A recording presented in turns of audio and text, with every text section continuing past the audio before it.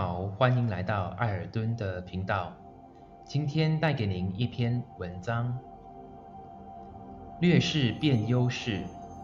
有一个十岁的小男孩，在一次车祸中失去了左臂，但是他很想学柔道。最终，小男孩一位日本柔道大师为师，开始学习柔道。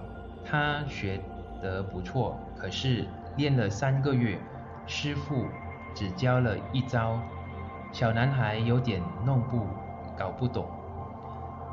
他终于忍不住问师傅：“我是不是应该再学学其他的招数？”师傅回答说：“不错，你的确只会一招，但你只需……”懂得这一招就够了。小男孩并不是很明白，但他很相信师傅，于是就继续照着练了下去。几个月后，师傅第一次带小男孩去参加比赛，小男孩自己都没有想到，居然轻轻松松的赢了前两轮，第三轮。稍稍有点困难，但对手还是很快的就变得有些急躁，连连进攻。小男孩敏捷的施展出自己那仅有的一招，又赢了。就这样，小男孩迷迷瞪瞪的进入了决赛。决赛的对手比小男孩高大。强壮许多，也似乎更有经验。一度小男孩显得有点招架不住，裁判担心小男孩会受伤，就叫了暂停，还打算就此终止比赛。然而师傅不答应，坚持说继续下去。比赛重新就开始后，对手放松了。